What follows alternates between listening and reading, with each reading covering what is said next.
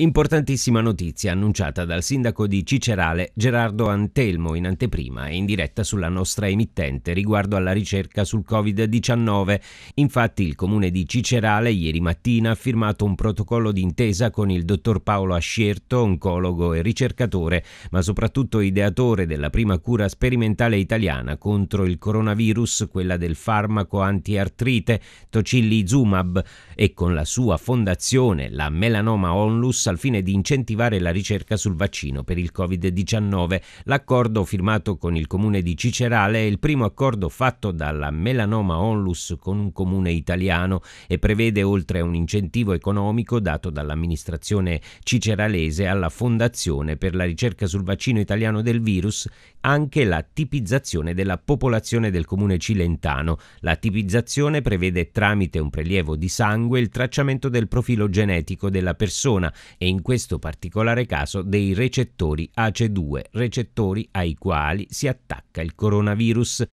Abbiamo firmato questo protocollo per fare che cosa? Uno per contribuire al vaccino, c'è un vaccino italiano che è in fase avanzata e ovviamente nessuno può dare tempi eh, per eh, insomma tempi di, nei quali sarà sicuramente disponibile ma questo è il primo punto del protocollo d'intesa. Il comune di Gigerale ha dato un contributo per, eh, per, il vaccino. La seconda è una donazione modale. La seconda cosa molto importante, abbiamo chiesto, eh, cioè abbiamo stabilito la tipizzazione della popolazione, perché in una popolazione soprattutto piccola, se si va a tipizzare geneticamente la popolazione, si riesce a comprendere, si riesce a capire quali sono le fasce, quali sono le persone più esposte e meno esposte al ehm, più o meno esposto appunto a questo virus che si lega ai recettori dell'ACE2, che è eh, appunto il recettore ACE2. E quindi se andiamo a tipizzare la popolazione sulla espressione ehm, del, dell'ACE2 eh, dal punto di vista genetico, probabilmente potremmo individuare nell'ambito della popolazione la percentuale